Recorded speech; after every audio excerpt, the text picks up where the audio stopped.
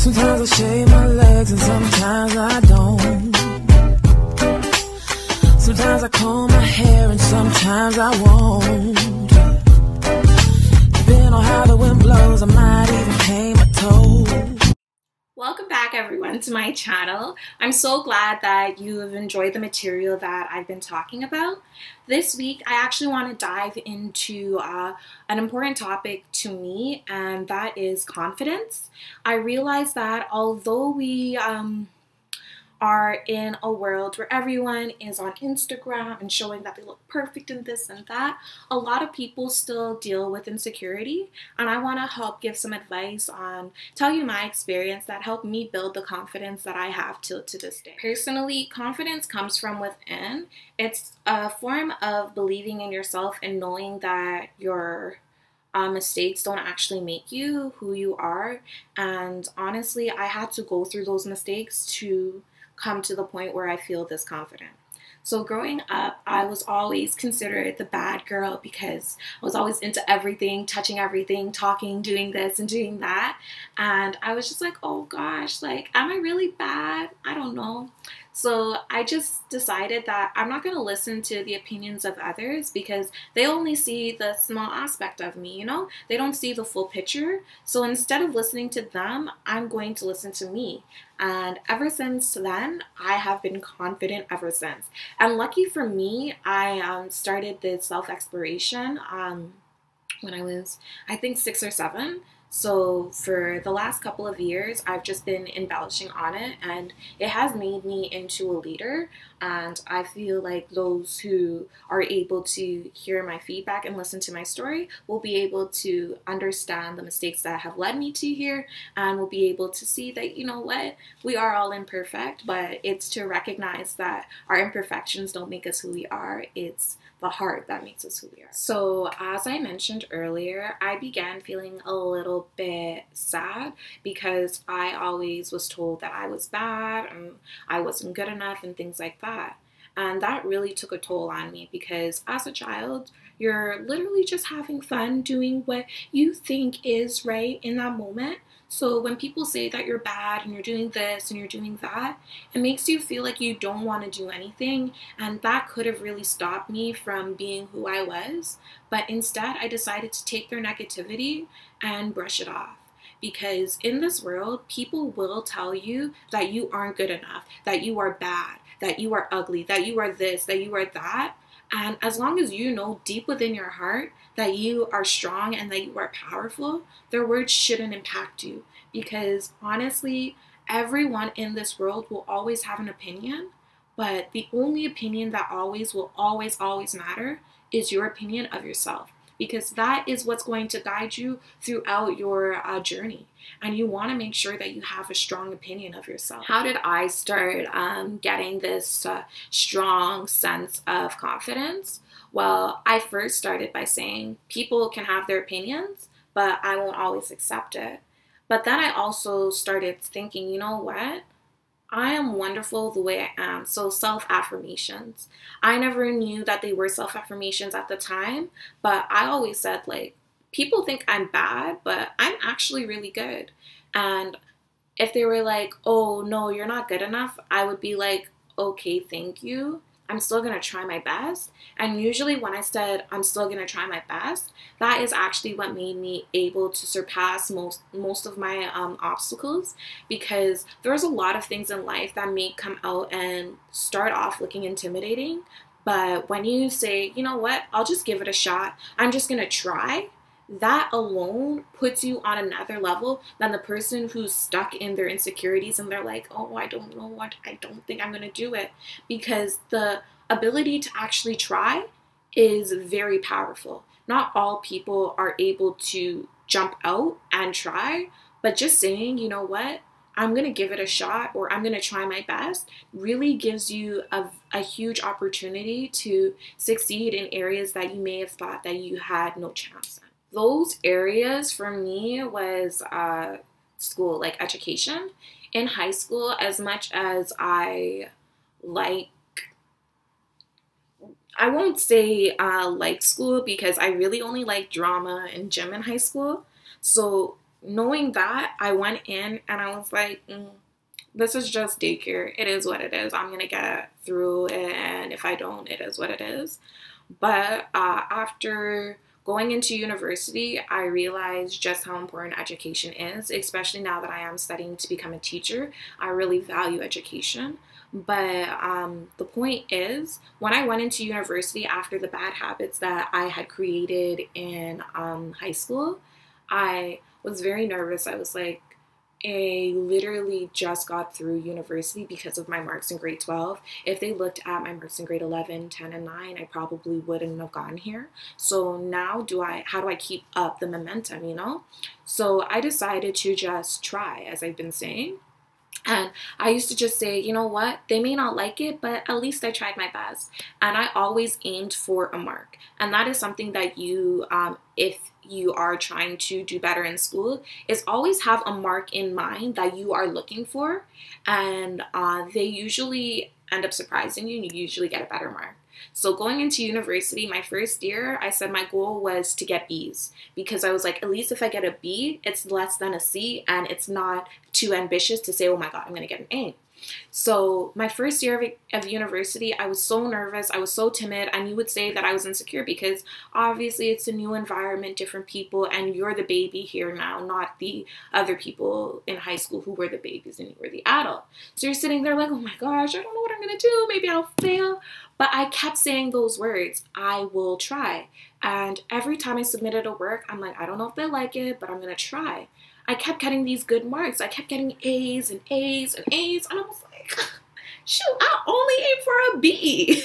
so, like, you always have to set a goal that you want to reach. And the minute you say you try, you can always surpass it. And that's what helped build my confidence in terms of um, education because it was those grades that they kept giving me better than what I had expected that made me realize that I'm actually smarter than I think. And this I'll try thing is actually me putting in that work that needs to be done for me to get the results that I need. And that really helped me uh, become confident, at least in my intellectual uh, sphere. Because growing up, I was always told, like, oh yeah, like you can try, but I don't know. And like I felt that in my inside of me too because I never really like saw the value or the importance in education until I went to university, which is really sad because for a lot of us black people, we don't actually get to see the value or importance of um, education. We see the value in basketball, in sports, in music, and being famous and things like that. But it's actually when you go to university where you actually learn about things you probably would have never learned or never understood if you never were educated. And that's why I want to do this channel. So if you haven't had the opportunity to go to university, whether it's financial or lack of interest, you at least have an opportunity to hear a university student who has benefited and is able to transfer that education to you through this channel. In terms of developing confidence within myself, in terms of my looks and appearances, I um, always used to be told, like in high school, sorry, in elementary school, because high school I was just this goddess. but yeah, in elementary school, I grew up being told that my eyes were too big, uh, this gap in my teeth, like, why do you have a gap, and things like that. And it obviously made me sad because it was like, am I not pretty enough? Like, what do you mean? But then I realized again, the opinion of others don't make you who you are.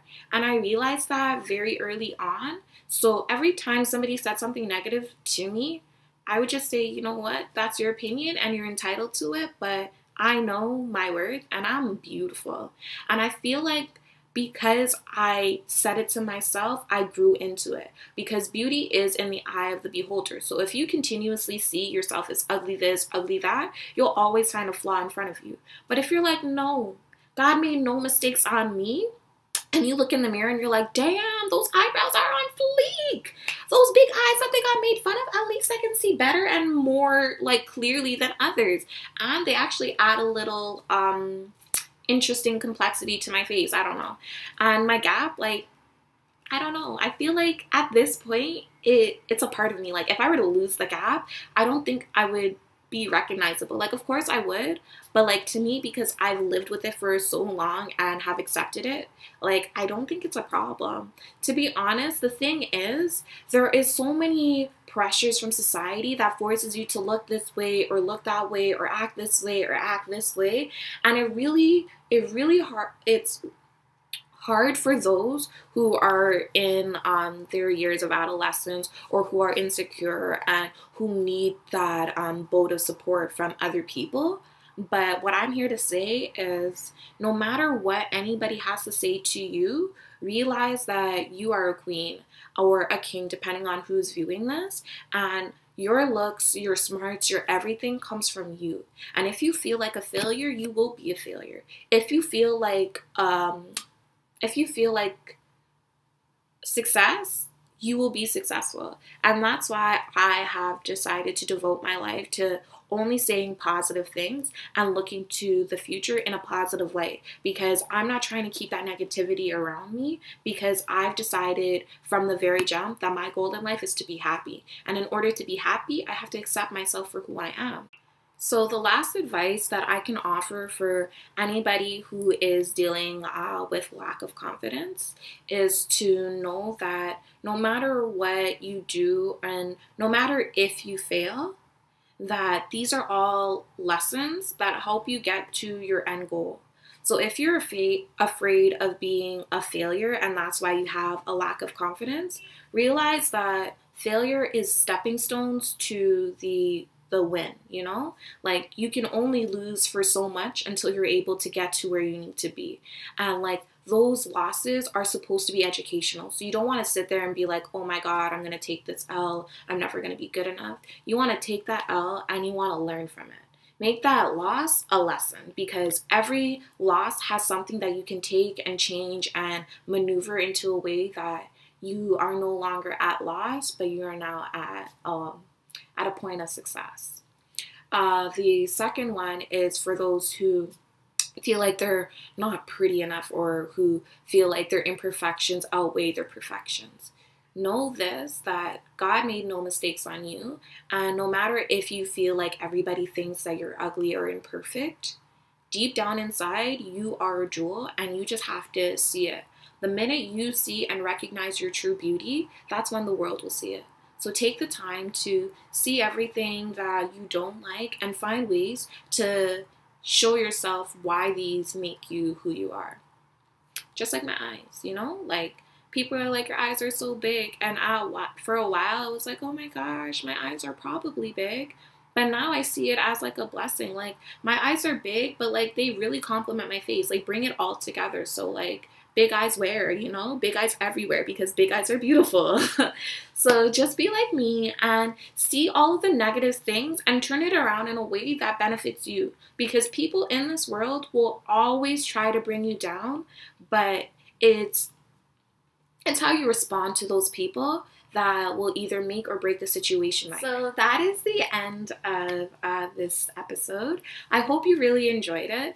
I find that um, building confidence is a very hard, hard task. But if you decide early on that this is something that you want to do, it becomes easier as you practice it but you have to practice because practice makes perfect. And Rome wasn't built in a day, so you have to take your time and realize that someone else's progress isn't going to reflect your progress, so you can't compare yourself.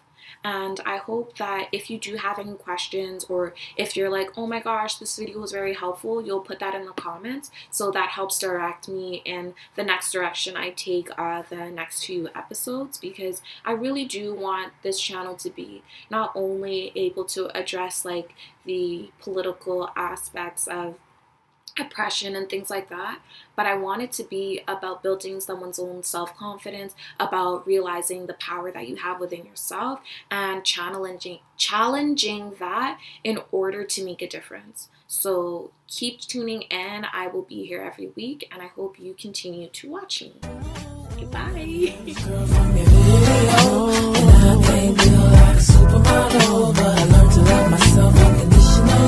Because I am a queen. I'm not the average girl from your video. My worth is not determined by the price of my clothes.